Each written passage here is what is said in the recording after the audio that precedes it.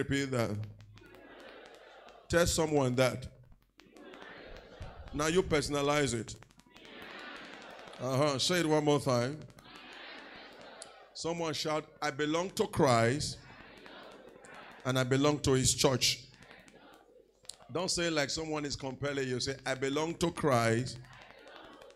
I am a member of the body of Christ, his church. Say amen. This morning, I want us to do a little uh, revision. Like I told you last Sunday, um, for the next few weeks, I'm going to be treating this topic and approaching it with a teaching approach. I've said it to you that the reason for it is because there have been a lot of misconceptions in the heart of people uh, about who they are and the church they attend. I have been in the church family for more than 20 years, so like I have a lot of experiences. And by the reason of my privileged position as a pastor, I've met with various kinds of people in the church. And so I can tell you some few things that I know about the church. And I believe that somewhere you will not just be a blessing to the church, but a blessing to your word. Every church family is God's family. Let me repeat that. So we saw last Sunday what the church is, and I'm sure you have not forgotten. The church is a place where believers in Jesus Christ assemble for the purpose of worship, fellowship, spiritual edification, and enrichment. The church is a place where people of God are gathered. And when we are gathered, we are gathered to worship God, we fellowship with one another. And the aim is for our spiritual edification and enrichment. We also saw what the topic, you and your church, means. You and your church is a covenant relationship and responsibilities and the benefit of belonging to the church family. When you say I'm a member of a church, is a spiritual relationship with Christ and his church. And that relationship goes with responsibilities. It's not just that I come to church to worship God and that is all. No. You have a relationship with Christ, his church, and in that relationship there are responsibilities and there are benefit that goes with it. We saw an example of four individuals, I think five, Phoebe, Mary, Priscilla and Aquila, and Mark. Lift up your right hand. I pray that in this church, you will not only be blessed, but you will be a blessing to his church. Now, you and the church is with the aim to equip every member of this church with a better understanding and knowledge of what the church is, your place, your responsibilities, and the significance of being a member of the church. Last Sunday, also, I'm sure most of you have not forgotten this. There are factors that validate church membership. One of them is one, believing that Jesus is the Son of God. Let me repeat that. For you to be a valid member of any church, you must believe that Jesus is the Son of God. Two, you must confess that you are a sinner in need of Jesus as your Savior. Amen. Then, three, you must accept Jesus Christ as your Lord and personal Savior. We also saw that for you to be a valid member of any church, you must be faithfully committed to Christ and His church. Amen.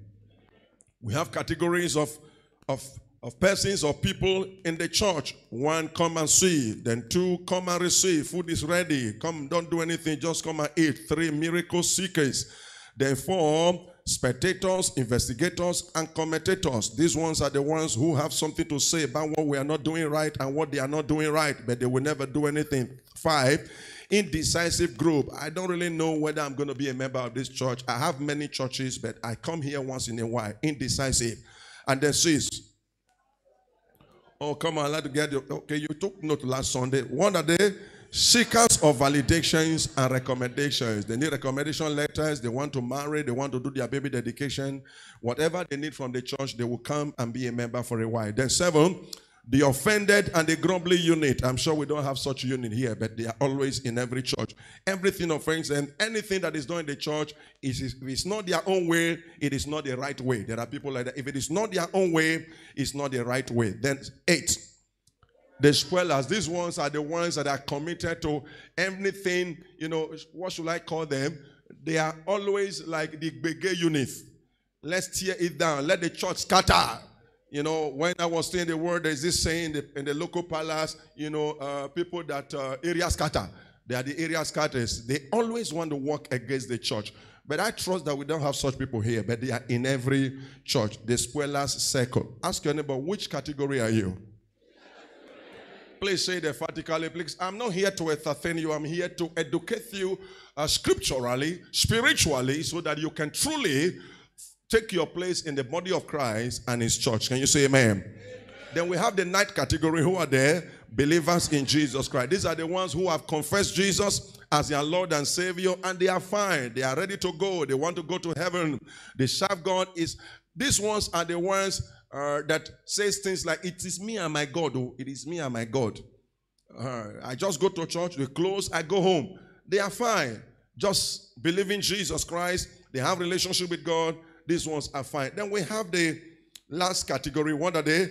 Disciples and stewards. These are the ones who are committed to Christ, committed to his interest, committed to his church. These are the ones that will leave church immediately the church service closes.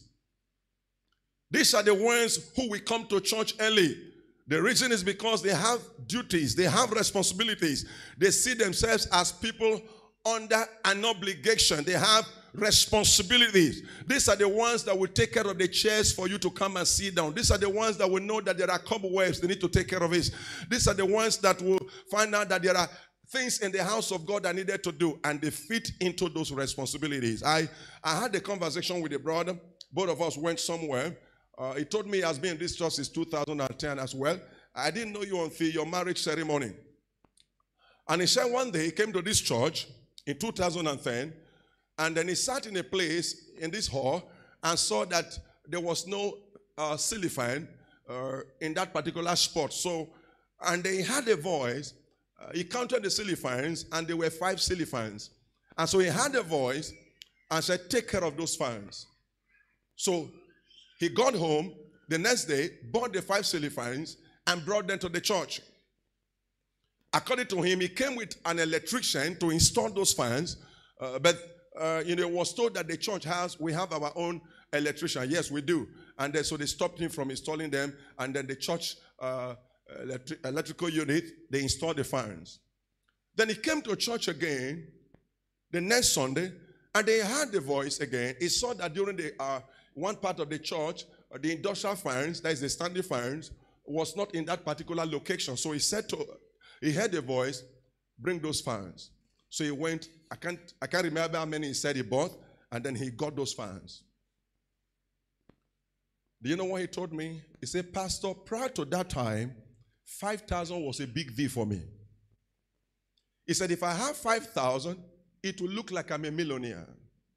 He said, since that time, according to him, he said, Pastor Collins, who was one of our pastors, introduced him to me, and I held his two hands. I prayed for him. I can't remember him at all. He said, Pastor, since that day till now. Amen. Lift up your two hands. May God grant you the grace to know your place in His church and undertake the right responsibilities in Jesus' name. His name is Brother Charles. I wouldn't want to call his son name because I've not seek his permission. He says, Since that day, Pastor, it has been from one level to the other. Nobody told him.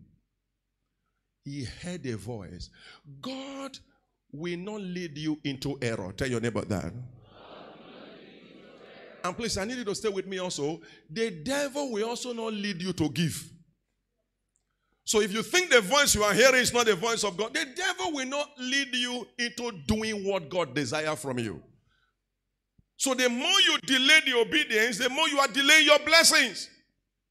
He was driving me to a place when he was sharing these testimonies with me. Amen. I said, Amen. Amen. It wasn't man who spoke to him, it was God who spoke to me. He heard the voice of God. He didn't come to the other with microphone to announce what God told him. He did it quietly and he was prayed for. And that was a turning point. Those are the categories of believers in the church whom Apostle Paul referred to and said, I recommend Phoebe to you. And who was Phoebe? The Bible said Apostle Paul called Phoebe a lady, the servant of the church. What does it mean to be a servant of the church? The person who serves the interests of Christ and his church. The person who is committed to serving the interests of Christ and his church. I spoke to a brother some years ago. I said, if my attitude towards the church is the way yours is, I don't think I will be who I am today. I don't think you will have a pastor whom you will call and say, Pray for me. Can you lift up your right? I know you are ready. May fresh grace, fresh hunger come upon you to compare you to love Him more and do His will in Jesus' name. So we have seen the various categories, but please don't forget this. The different categories of persons in church are loved by God and His church. So, whether you are a spoiler, you are whatever you are, a spectator, whether you are here grumbling, always angry, frowning because things didn't go your own way, the church didn't do your bidding, know this that you are loved by God. Turn to your neighbor left or right, you don't know who they are, tell them God loves you. God loves you. So, whether you are a spoiler, God loves you. Whether you are come and receive, come and eat, come and God loves every one of you. But this is the fact. God loves every one of you, but God and His church expects a better relationship and responsibilities that can promote and prosper His purpose for His church. So God loves you, irrespective of what category you are in or which category you are in. You are loved by God, but God expects a better relationship it demands from you responsibilities towards his house so that his purpose for the church can be accomplished. Touch yourself and say, I know God loves me. But he expects more from me. That sounded like you are not sure. Say, God loves me, but he expects more from me. Are you still there? We have this account in Acts 16, verse number 1 to 2. The scripture says, Paul came to Derbe and then to Lystra, where a disciple, who? Who? A disciple. I hope the media are there. The screen is very, uh, I don't know what the media leader could possibly do regarding that. He said, where a disciple named Timothy lived, whose mother was Jewish and a believer, but whose father was a Greek. Now, this is what we are taking from the verse number two, if you can see it. Uh, we're really sorry for the blood view. Want to go? Can we read it? The believers and the church say that. At what? And what? What did they do? Spoke well of him. Who spoke well of him? The believers and the church spoke well of Timothy. Let me ask this question this morning. What can the church you belong to say about you? I went to one of these Orthodox churches many years ago. Was a particular church, I would like to mention the name. I sat on the pew, and behind, you know, the pew in front of me, I saw an inscription the family of so, so, so, and so.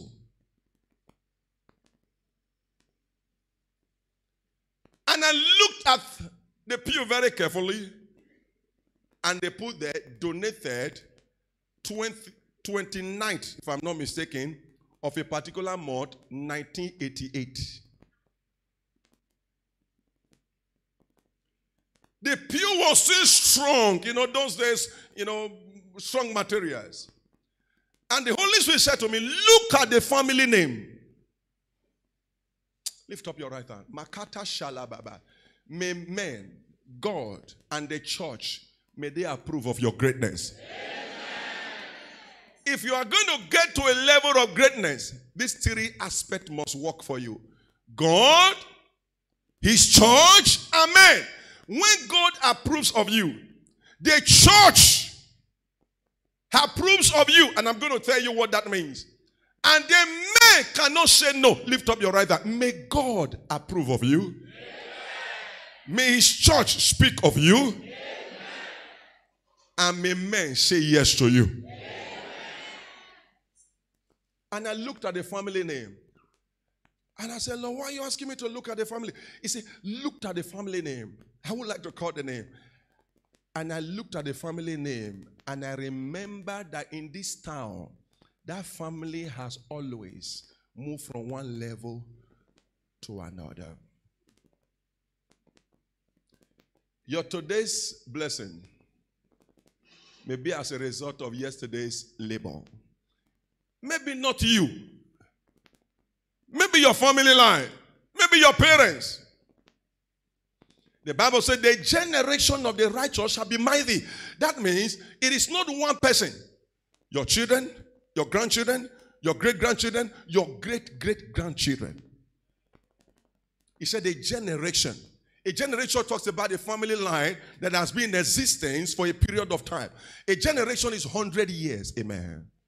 Which means when, oh, Thakolaba, lift up your two hands. In the name of Jesus Christ, your generation is blessed.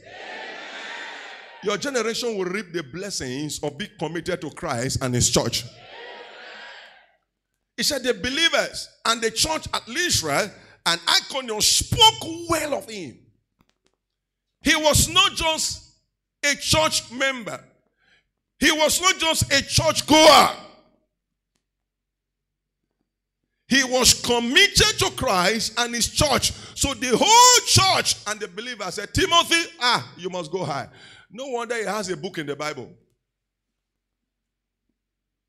You have First Timothy, Second Timothy, a name that can never be forgotten.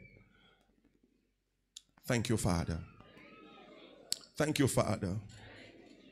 Oh, I can't hear you. Thank you, Father. We saw this also as well last Sunday.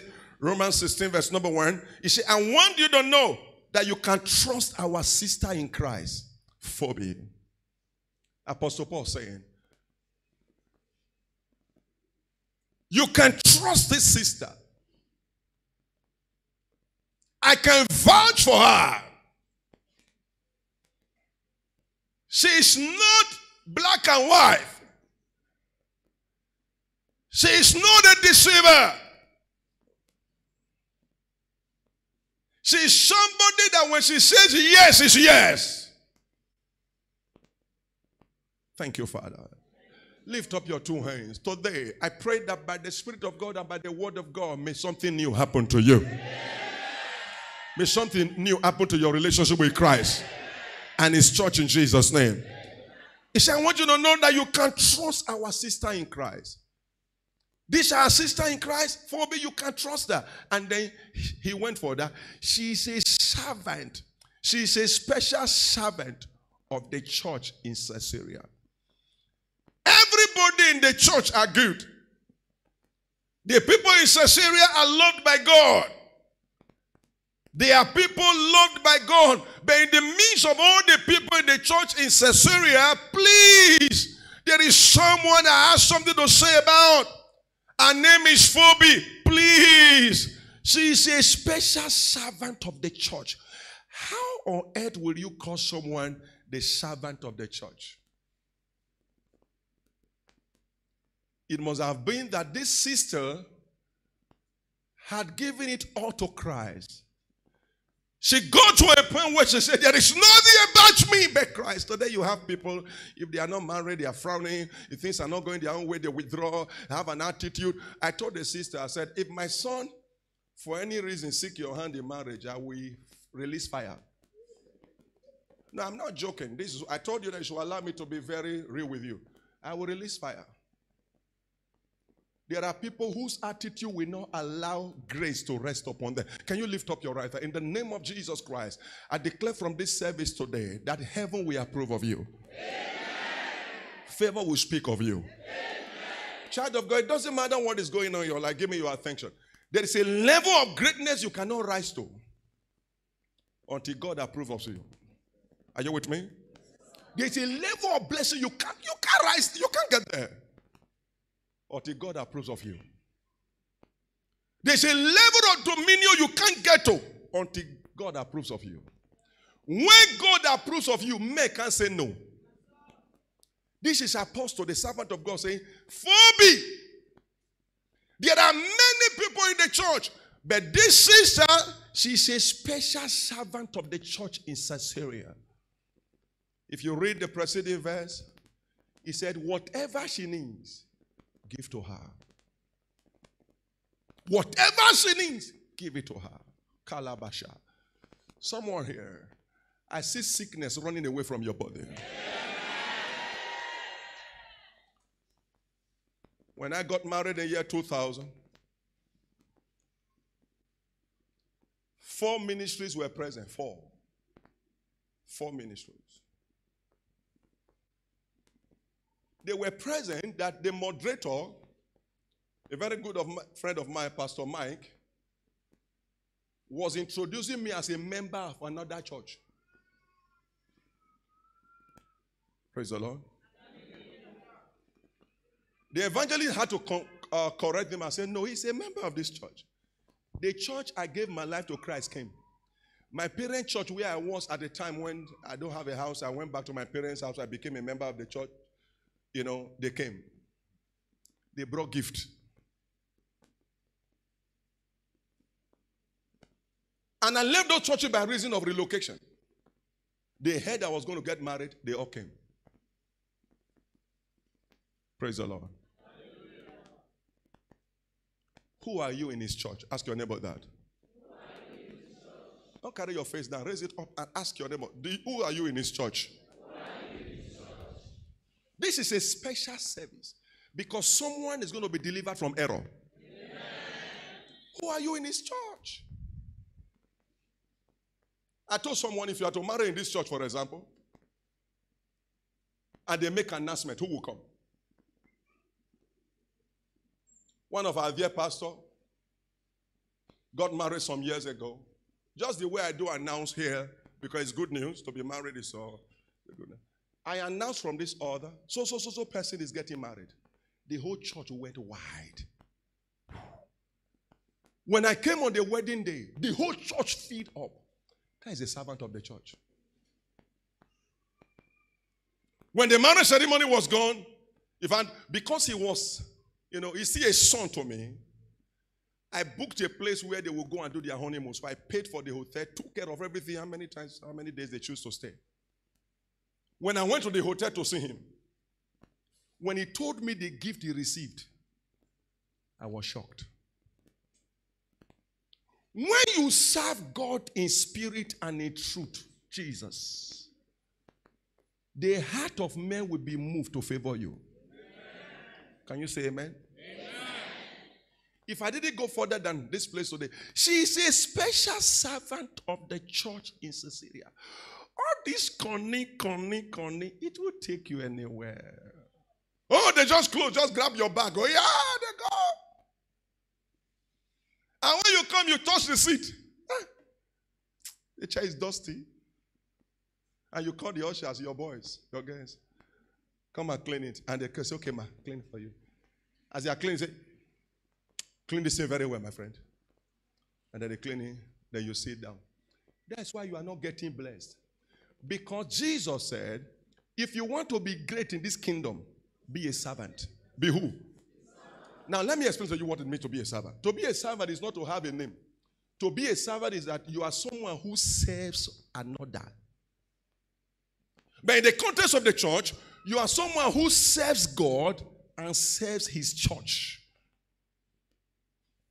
If you are still here, say amen. When you see those standing in the traffic unit, they are directing you. They are not being paid. They are serving God with the gift God has given to them. I saw the choir ministry this morning and they were singing the special number they were singing. And some of you can even sing it better than the choir, but you are tied to your seat. Why can't you join the music department? Eh? You see, the nature of my work. Oh, it may even be that you are too special. You can't join this kind of music department. They are not good enough. You are just too good that you are not useful. Just too good.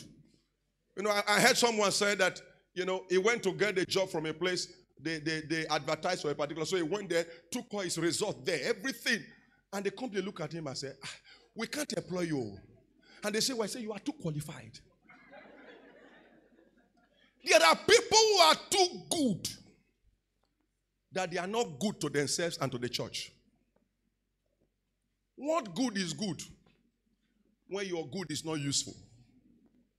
The drama unit is asking, why you sit on your seat? The Lord is saying to you, that is your place. Bear pride. Bear anger because you can't stay under authority because you are the firstborn in a royal family. So you are the next Enogie. You are the next Oba. So you can't stay. But when it comes to God, know that He rules over the affairs of men. He's the King of kings and the Lord of lords. He's the owner of your soul. He's the one that gave you the breath of life. So whether you are the firstborn, the next Enogie, you cannot be Enogie over God. Because He owns your life. Are you still here this morning? A Omodion, special. What a blessing. Phoebe is not missing in eternity. Generation of born will remember Phoebe. Why? Because of those little commitment. I can tell you, phobia may have been uh, criticized. Phoebe may have been attacked. Because people like this, who are special to his church, they are the target of churchgoers. Mm, maybe by doing this one, oh, maybe by doing this one, she may have been attacked. I'm not an extremist. I serve God the way I want to serve God. That's why their name didn't appear. There are people in church you cannot correct. You correct it, they will frown. They can't be referred to as special to the church. Lift up your. I'm sure someone today is saying, Oh God, I need you to help me. I, I really want to. Is you I'm praying this prayer for. May God grant you grace to do in Jesus' name. Are you still there? Are you still there? Thank you, Father. Thank you, Father. Have you ever bothered? I'm a member of my church. How is a church running? What, how, in what way can I fit in? The brother you saw that works with me and many of our leaders across our various branches, this brother is an engineer. He's a businessman. No, he comes here every Sunday. He's not on the church payroll. I asked him to minister last Wednesday. And he called me to apologize. He came late. I said, No, that is okay. Because the nature of his job is so demanding. He's I've been to his business premises. He has a very large business interest. His business is so time consuming. Yet, he hardly pays any service. And when he's here, because he has yielded himself to God and he's praying for you, you are saying amen. Meanwhile, you have been in this church before the church even started. We can't lay hand on you and say, This is one thing we can do with you. Ah. Jesus, I feel like pulling your cloth off. We can't lay hand on you and say, Hey, go and uh, do this. No. No one brought him to this church. He said God spoke to him and he came. And since he came, he has been on ground. He was the head of the Austria department for many years. I asked him to live there, work with me, since most of our ministers went to our branches. Ask your neighbor, confidently. I'm the one asking you to ask your neighbor, what can the church do with you? Oh, if you don't ask, I will come bring you out. Say, what can the church do with you? No, no, ask them very well. Later, I say, what can the church do with you? Can the church have you sing? Can the church have you give? Can the church have you sweep? Can the church have you clean? Can the church have you preach? Can the church have you bring souls? Can the church have you? What can the church do with you? A salt is useless until it is salty. A light is useless until it drives away darkness. Is that true? So when Jesus said you are the salt of the earth, it means you are to add value. When he said you are the light of the earth, wherever you are, darkness will go. Amen. amen. Oh, bless people of God. Say amen. amen. This is a church, a family affair. It's a church family affair. What can the church do with you? Timothy, the church spoke well of her. Phoebe, the apostle said, please, this sister is a special servant, not a special city on the altar. Amen. Someone stretch your hand toward this altar. From today, heaven will approve of you. Now, very quickly, what is the role of the church? What did the church do? The church is a place where believers, that is, those who are members, are discipled and spiritually nurtured as an important factor that determines the well being of other areas of our lives. So, what exactly do the church do? The church don't exist so that when you want to marry, we'll follow you to, for your or to your marriage ceremony. The church don't exist so that when you uh, maybe you, you lose your aged parents, the church can follow you for burial. That is not the primary responsibility of the church. The church is not a cooperative society. The church is not your village meeting. The church is a place where you, as a member, as a believer in Jesus Christ, you are discipled to be spiritually matured, spiritually strong. Do you know how heaven feels when maybe you put to birth and the church didn't visit you on time, which is not a thing we should justify, and you stop the church? You could possibly do that because you do not know the role of the church. Amen. Come on, I said amen. Let me put it this way. If you are sitting here, say amen. amen. How many of you will say where you work and you earn salary? Maybe you are a banker. You earn salary there, that's where you work. And then you had a baby. And your branch manager didn't come. You now resign. Would that happen? Would that happen? I said, please, I tender my resignation letter. And they ask you, why did you tender your resignation letter? He said, because when I had my baby, after one week, my branch manager didn't come. I resigned. You know why you will not resign? Because that's where you get your salary from. You know, if you resign, you will suffer. So your workplace, what do your workplace give you? Economic advantages. Economic what? They pay you salary at the end of it because you work. What do the church give to you? The church gives you spiritual advantages. Every other thing that the church will do for you is what? Is secondary. Oh, I want to marry. Do you know I married the ministry of perfection? They did give me one couple. Now, we say you make you marry? did we beg you to marry for us? Yeah? He said, You're no longer going to I said, No, no, no, no. I can't go to a church where imagine I marry. See how much I spend. One naira they did give to me. I'm sorry to tell you, one naira will not owe you. Are you with me? So if you are a member of the church and you are building your budget, five million naira is what I need for this project or for this marriage. No how, no how, one million will come from church. Me, I'm telling you now, amen. If you give us that four million, we'll go take them from you. Because the church is never having enough money. Because, am I communicating? We have one of our leaders eventually backed out from the leadership circle. And I tried to talk to him, and you know, people can be very deceptive. Human being. The deepest place in this world is the heart of man. They can be smiling with you, but there's something in their mind. So I called him and said, I don't see you in our leadership circle. He said, No, no, no problem. I'll be very busy. Then he confided on the person he can talk to. I said, I will never join the leader circle anymore because when I married, the church didn't do anything for me.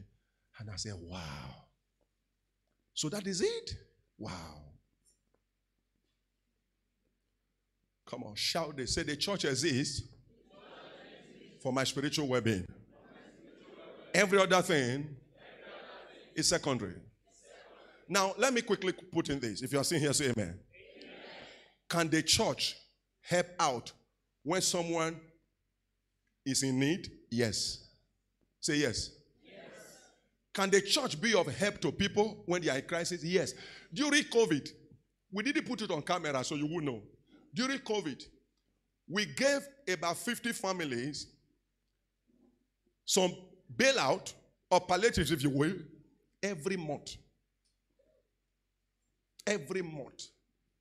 We were giving them money and food items every month. Because we can't afford to have our people hungry when we can do something. And you know how those resources were coming? People were coming. A brother here, I don't know whether he's here, and I will call his name because I wouldn't want to embarrass him. I was at home one day when he called me during COVID. He said, I dropped 10 bags of rice in church. Please, Pastor, I know people are in need. Please just share it. Another person called and said, I'm giving 300,000 naira. Please, Pastor, share it 10,000. That's how we shared it to families. So the church can be of help to you. But may I pause to ask this question? What is your record in the church? If Phoebe was in a crisis, with the church help her? Talk, with the church help her? Ah, why not? Phoebe? Ah, no. Even if the church will not help her, God will help her. I ask a brother, church, church, how much have you contributed to the church? You were looking at me. How much have you ever given to the church? And I said, for 10 years, calculate your offering. Let me know the amount. Because you can. And he said, Pastor, I said, you can. Because your offering is never more than 300 Am I lying? So 300 and 3 years, or 20 or 10 years. Let me know. Because there are those who are in church, their offering is like only dara. You know the change. 200 naira, major offering. 50 naira, Thanksgiving offering. So for in a month, four Sundays, that is 1,000.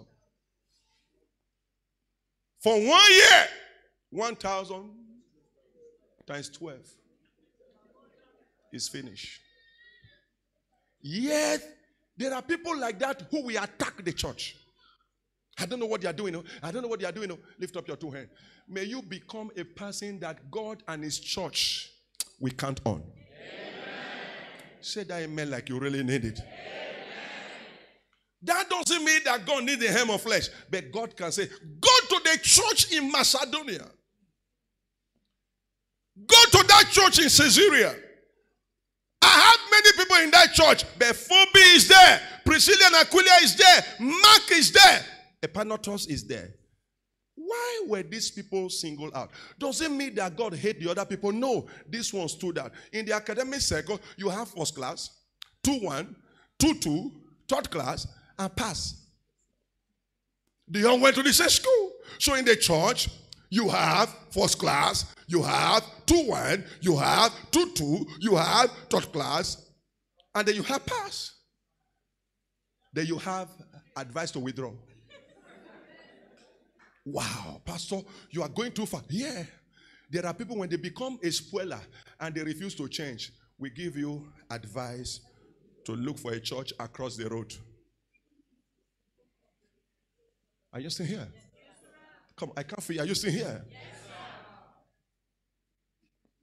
In the church, you have gold, you have silver, you have brass, you have clay in every church. You have wood. Thank you. Which is clay or whatever. Lift up your two and say, I own this church. Oh, say it very well. In case, even if you don't like it, just say it now. You can change it later. Say, I own this church. My responsibility for the promotion and the advancement of God's kingdom. So, why do the church exist? What is the role of the church? The church exists so that you can be spiritually discipled. Why is spiritual discipleship important? Because it's a, an important factor that determines the well being of other areas of your life. If you are going to succeed in life, you need God. If you are going to succeed in business, you need His wisdom. You're going to succeed in marriage, you need God in every aspect. Jesus said, Apart from me, you can do nothing. That is why people who are members of a church, when they have breakthroughs, they don't ascribe it to their qualifications, they ascribe it to who? to God. That's why they'll come and say, uh, to God be all the glory, believers. Join me to thank God because I'll be given an appointment. Because they recognize that beyond their studies, beyond their connections, beyond their qualifications, beyond who they spoke to, the real helper is who? But those who don't recognize that, whatever they, they, God does for them, they will keep it to themselves. If I tell the church now, the church will not know. And some even tell you, I'm not a boastful person.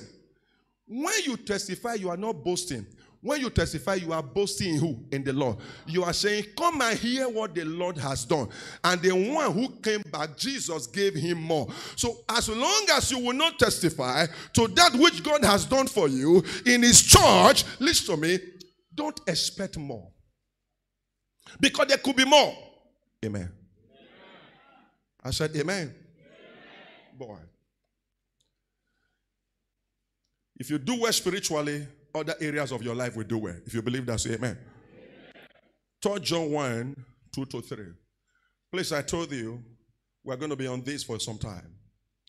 Third John 3, Third John uh, 1, rather, 2 to 3. I, I don't know, but uh, I think something's going to happen before next Sunday.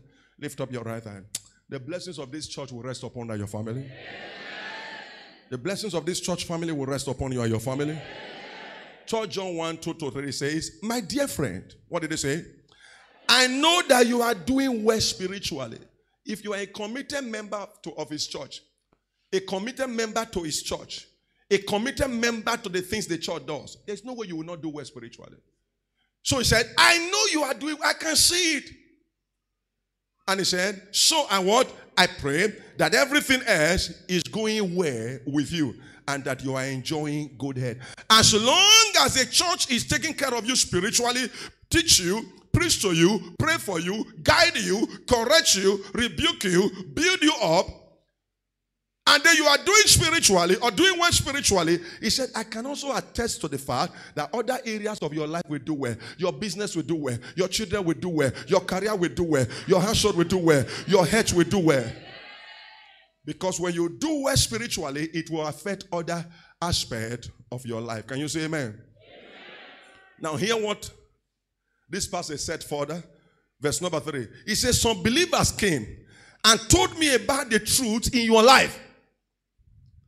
They told me that you continue to follow the way of what? Of truth. This made me very happy.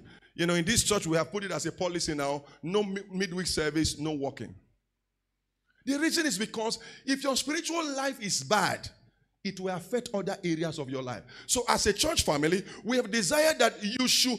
This is not so that you can work for the church or so that the church can be filled. No. Right now, some ministry online, there are members. In our branch, we have overflow there. So, it's not about whether you come to church or not. It's about your spiritual well-being. When you do well spiritually, other areas of your life you do well. If you believe it, say amen. But let me pause to quickly say this. How many of you love to do well spiritually? Okay, okay. Let me ask this question. And I know we all are sincere people. How many of you know that you really need spiritual help? How many of you, okay, maybe I didn't put it right. How many of you know that your spiritual life could be better than the way it is now? Thank God for that. So, what is the role of the church? The church is to disciple you, nurture you spiritually, so that you become spiritually healthy, that will also affect other areas of your life. Amen. Note, as a believer, your spiritual well being is a key factor that determines the well being of other areas of your life. Never you forget that. Never you forget that. When you do well spiritually, it will determine how other aspect of your life we also do well. Lift up your right hand. I, I, I, am compelling my spirit to pray for someone today. In the name of Jesus Christ, may you receive fresh hunger to seek God. Amen. Receive fresh hunger to seek God. receive fresh hunger to serve Him. When I pursue my spiritual well being, I am not doing the church any good, I'm doing myself good. I know you are doing well spiritually. This morning I had a meeting with uh, uh, our esteemed workers. Uh, we call it workers class.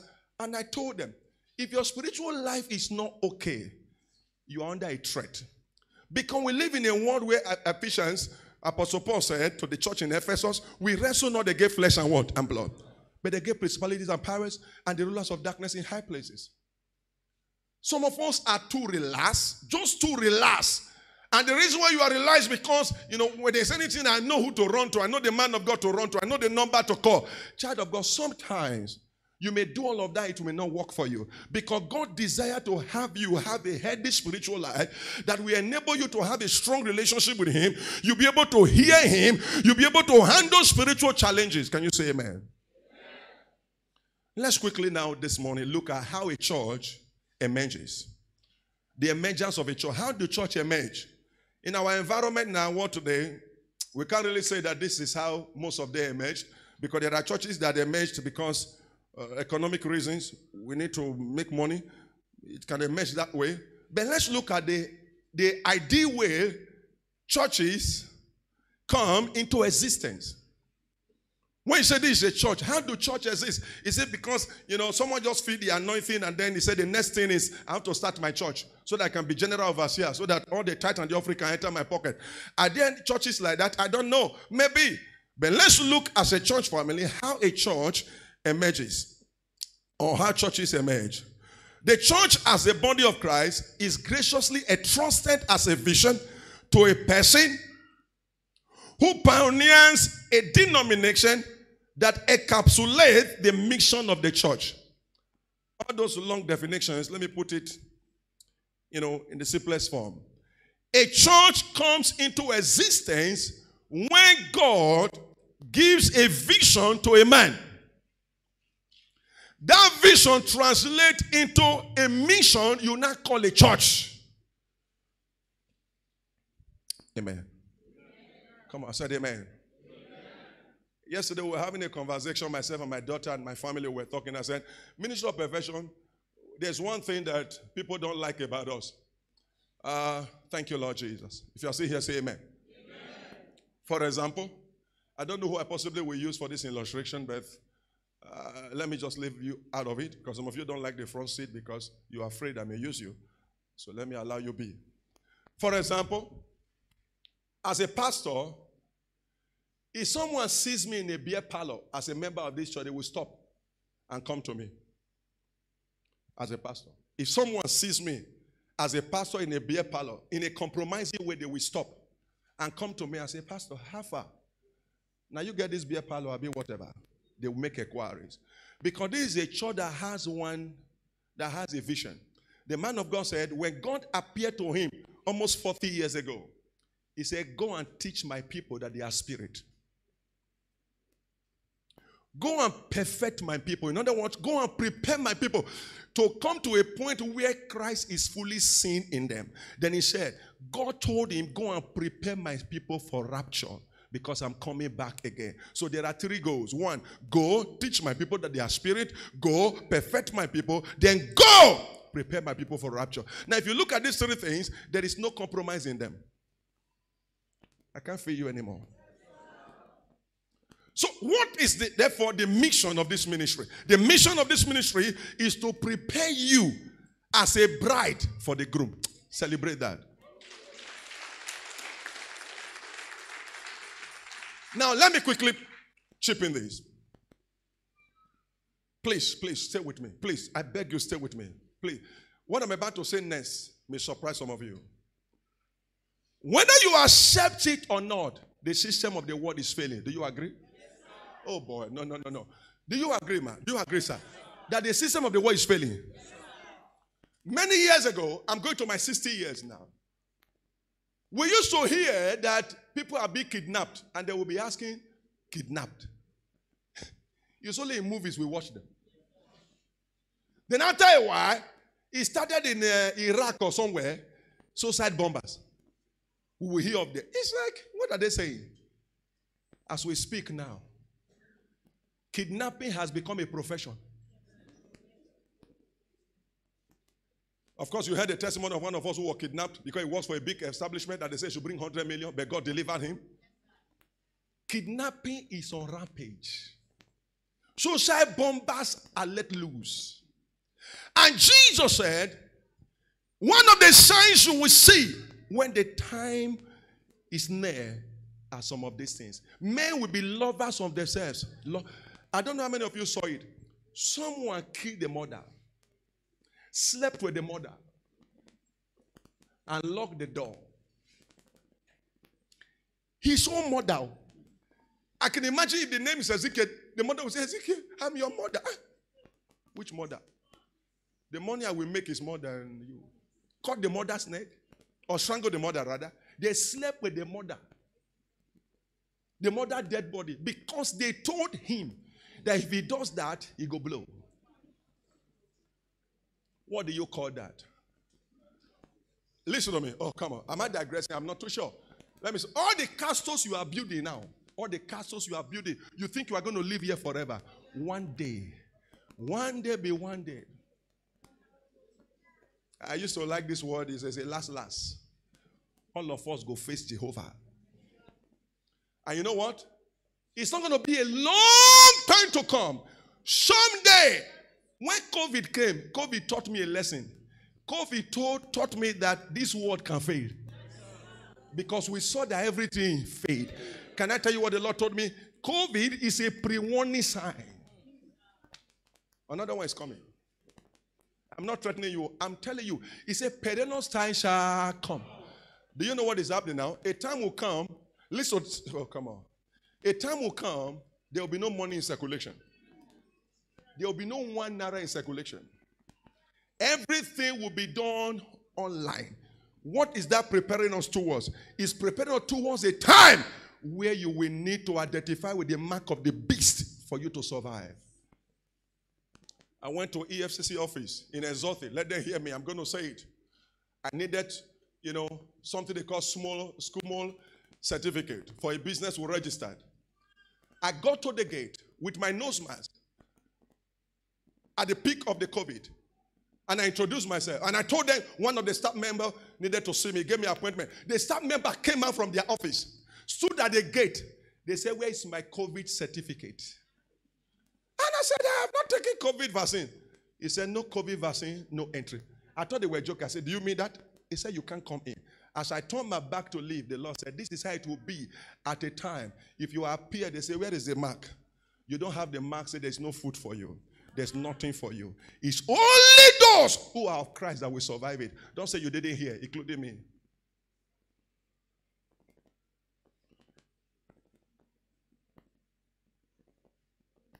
Tell your neighbor, Jesus is coming back again.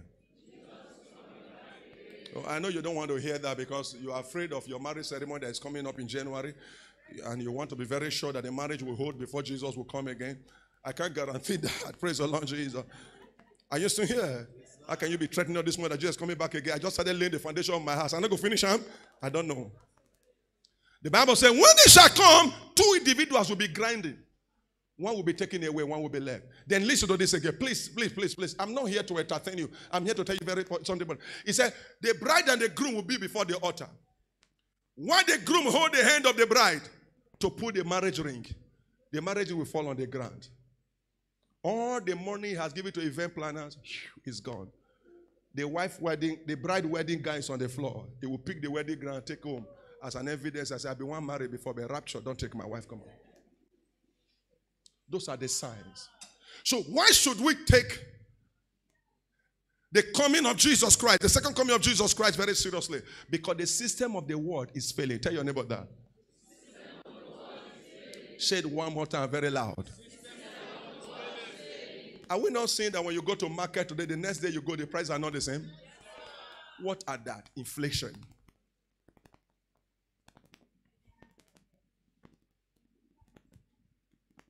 So every church is a vision entrusted to a person. There is something like God gave us the vision. God don't give us vision. God gives a person a vision. Then when you become part of the organization, you now own the vision. You become a partaker or a partner with the vision. Lift up your two. May heaven reward you for being a part of this vision. So when you give to that vision, you actually not give it to church, you are giving to the one who gave the vision. Has he been abused? Many times. But Jesus is still Lord. Every denomination denotes its core values in the message, the members you see in that church, and the mission. So when you see, let me put it this way. Please, I don't mean to offend anybody. But are you aware there are some members you see, you just know that they are from this particular church? Have you ever seen before? Have you ever seen any member like that? You don't need to be told. You now ask, Are you a member of so so church? They say yes. You see on that member, I say, Are you a member of this church? I say yes. There are some members, you know, please stand, sir. There are some members, when they are greeting each other, can you speak in tongues? Okay, give me your hand. Speak in tongues. Waragadaba. Lakarabakata. Kata kata. Karababalak. I know you can't touch me the way I'm touching you. so you're scared, you know. But this had, ah, give me your hand. Rakabakadaba. You just know that member of so so so church. That is the identity. Is that not true?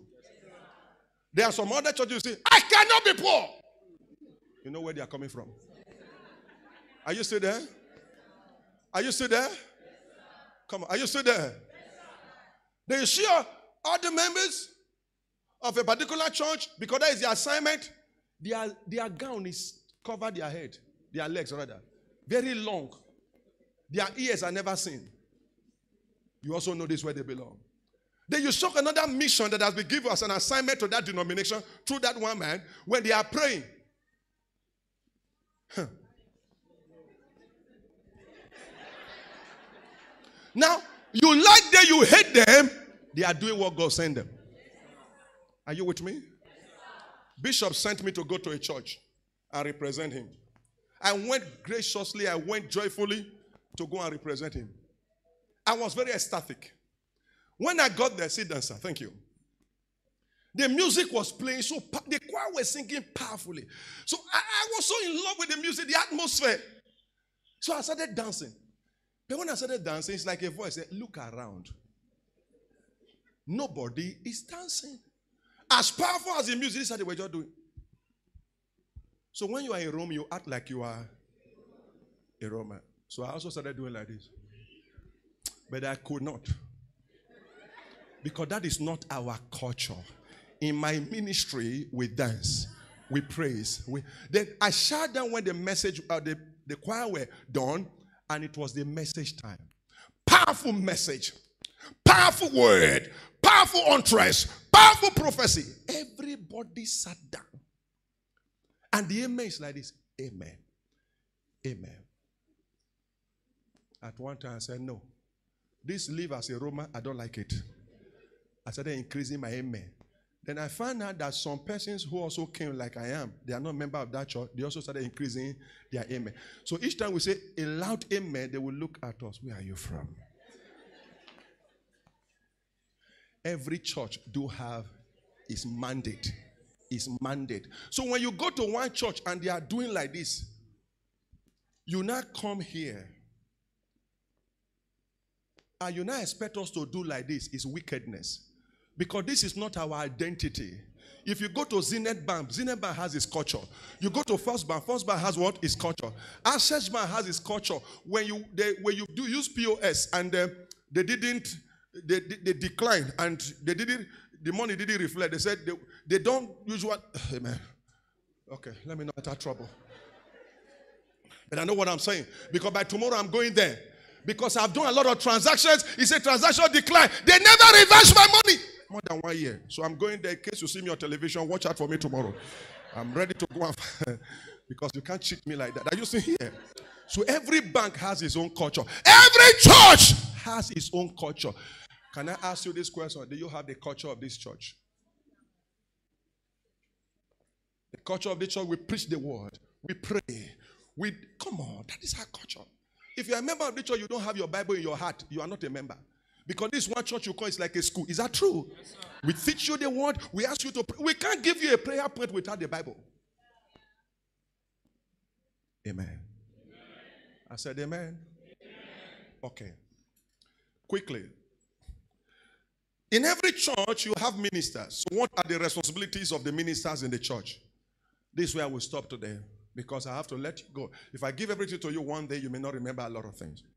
You would have overspent some time anyway, but let's see this. Lift up your right hand. The angels and the grace of God upon this church will appear to you. Amen. I said will appear to you. Amen. It will work for you. Do you know one thing I can vouch and tell you? I'm not telling you this because I'm your pastor. I'm telling you because I've experienced it. In this church, there is a grace for deliverance so strong. That's why most time you come, I had accident, gas exploded, this one happened, this one happened, this one happened. Yet God, lift up your hand. May the deliverance angels assigned to deliver people from destruction and danger in this ministry, may they be at work in your life and your family. 2000 and should be 2009. Uh, I left home one day. I've shared this testimony over and over again. I'll keep sharing. I will not be tired of it. I left home. Why is the Lord asking me to pray this? Someone lift up your right hand. What cannot destroy the vision bearer of this ministry will not be able to destroy you. Angels said to guide this ministry and guide the members. May they speak for you on every side. Cancer will not grow in your body. Any head condition you are having right now that is beyond what mercy can do, I reverse it in Jesus' name.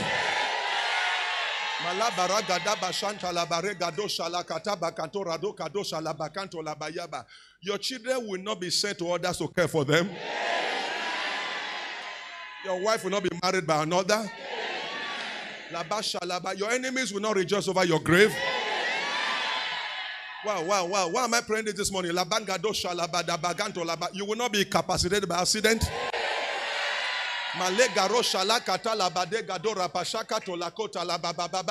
Any tag on your life that causes evil to work against you and follow you, that tag is removed now Jesus' name. I don't know why God is asking me to pray this prayer for someone. In your family line, angels have been assigned. They will do your battle. They will take care of your children. Do you know that from today, boundary lines will fall before you in pleasant places? Do you know there are special angels assigned now to start working for you?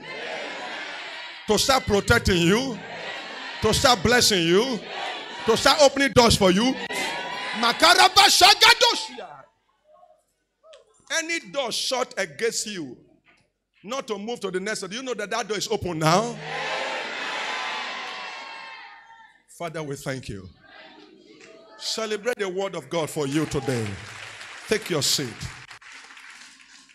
So I I left home that evening, sir, for a vigil. As I was about to leave, my wife said to me, why don't you just stay at home and not go for the vigil today? I insisted that I was going to go for the vigil, so I went. To cut the long story short, we, run, we ran into the midst of robbers where they shot at us so terribly that I thought I was gone. They shot at us from every angle. We were able to escape from the scene. When we got to the place we were going for the vigil, my head was hot. My, uh, my assistant who went with me back then, who is now a pastor, a GO of his own church in Warri, removed his shirt. You know what we saw? The bullet pierced holes in the shirt. You could see the holes, but not a scratch. Now, why did I have to bring that in? Because there are special angels that God has assigned to work with every church, every ministry. Am I communicating? So when you are a member of a church, you see, don't try to compare this church to that church. Because when you do that, you are unwise. Amen. I said, amen. amen. Lift up your right hand. You and I will sing a new song, a victory song into 2023. My mother, my biological mother, traveled to my hometown. I didn't know she was on a journey back. I was at home and I, I just found out that I was not happy. It's like something happened and I was not in a good mood. And I said, Lord, what is this? I can't, I can't relate that with anything that may have happened recently. And the Lord said, Go into your room and pray now. So I went inside the room, locked the door, and I just prayed. After I was done, the burden was lifted out. I came out.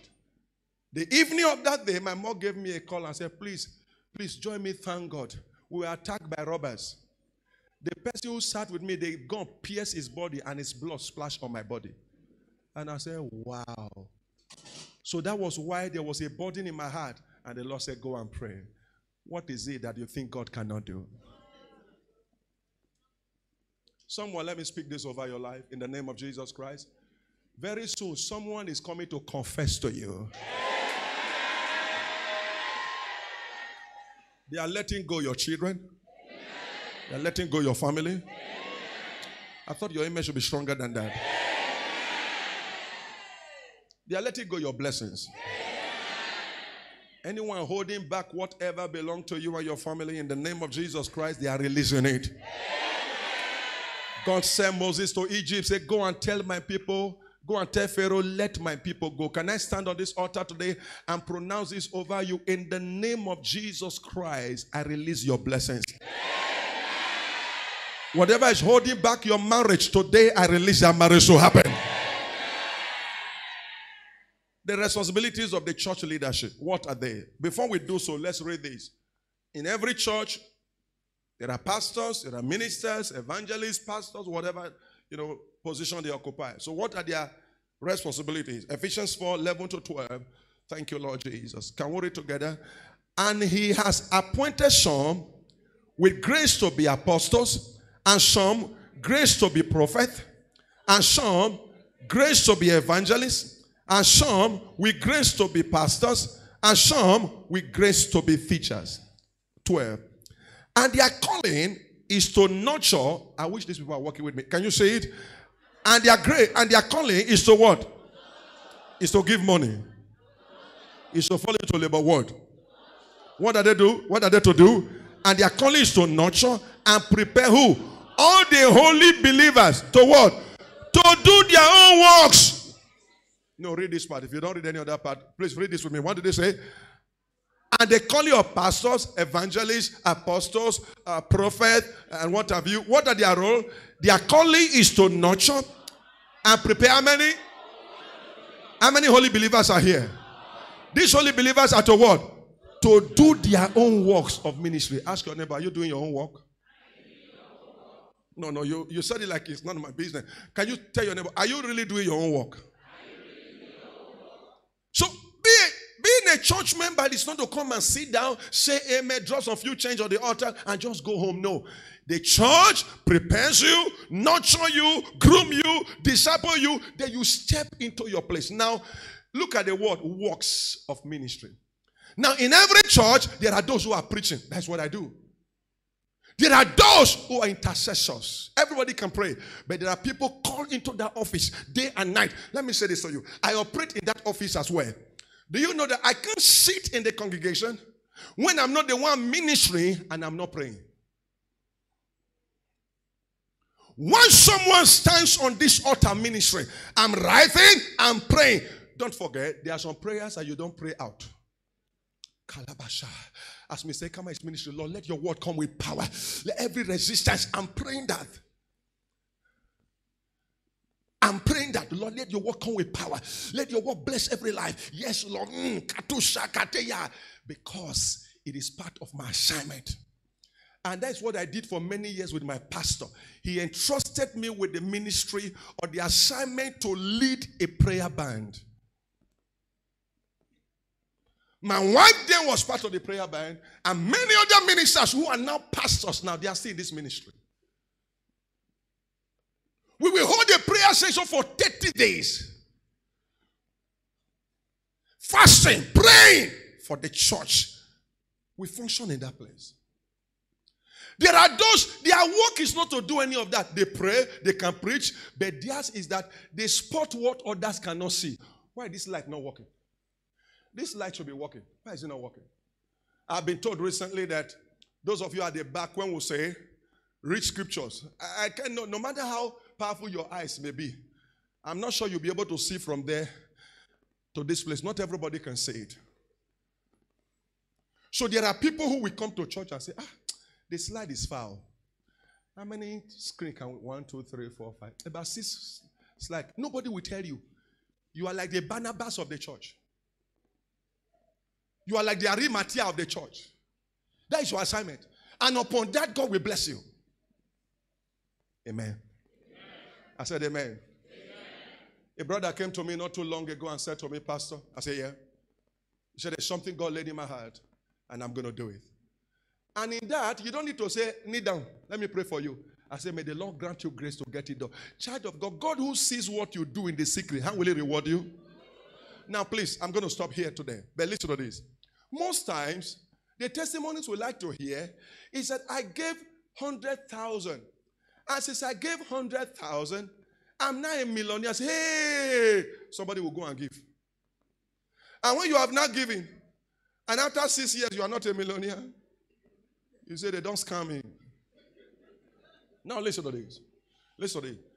Does it mean that if you give, God will not bless you? Yes, God will do bless you. God will bless you. But let me quickly say this to you. But how many times when we delivered from destruction that would have permanently terminated our lives or incapacitate us? But because we obey God, He came and delivered us. Now, let me ask you this question. If you have had a breakthrough of one billion naira and died the next day, what would be the value of one billion? So, not every time you give that God will give you money. Some, oh Jesus, thank you, Lord Jesus. How can you be in the kitchen and gas exploded and no scratch? Can money do that? I'm talking to God loving people. God, people loved by God. Are they here? A trailer. Okay. I can't remember. My wife was doing her master's at the time. She asked me to follow her to Agbor. Thank you. Someone clap hand for the goodness of God upon your life. The things He does in your life that eyes cannot see. Celebrate Him.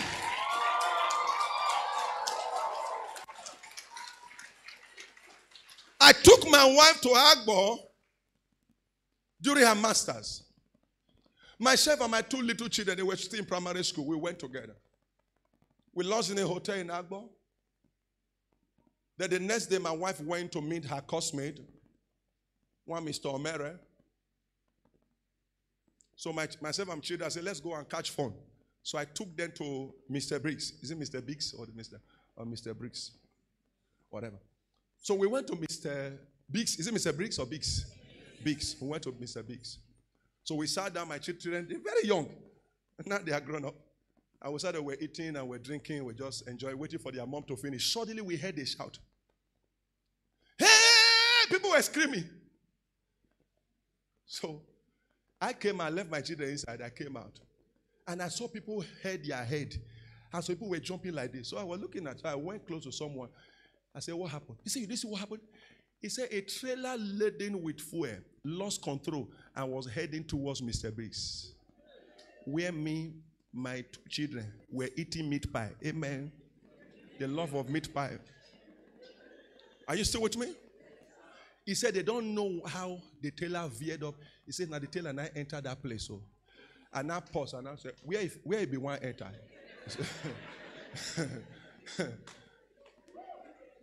I was speechless. So now saw the trailer for enter in the slope in Agbor. If you are used to Agbor, the Mr. Breeze was there by the by the right where you are going. So that is how the trailer would have come, run into the place, it will explode. And you know, each time I'm to do certain things, I don't tell my wife because she will say, Don't go. So I didn't tell her that we're going to eat meat pie and uh, drink this thing in Mr. So if the trailer has rammed into Mr. And it exploded, God forbid, we would have been burnt to ashes, the car completely burnt, and then she will start calling, and they will say the line is unreachable. Jump to your feet and say, God, thank you.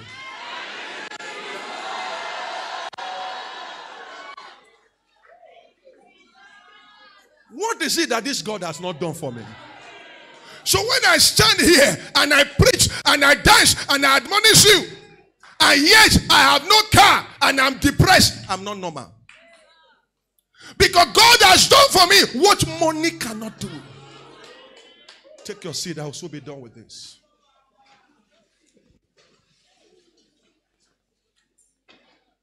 When I came out, I just hurried my children. Oh, yeah, oh, yeah, let's go. Because we don't know whether another attacker is coming.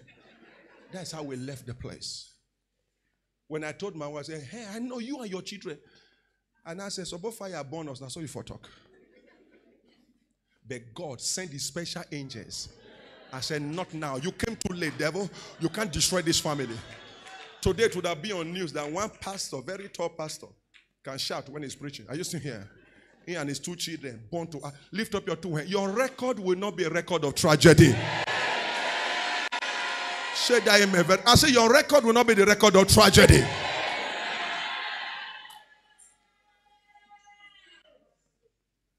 What is it that this God cannot do? What are the responsibilities of pastors? He said they are to nurture you and then prepare you to do your own works of the ministry. Your own work, sir. Your own work, man. Your own work, sister. Since we have been preparing you, are you doing your own work? But let me quickly say this it's never too late. The time for you to say, in this church family, I have decided in my heart, I'm going to be committed to Christ, I'm going to be committed to his church. God bless you.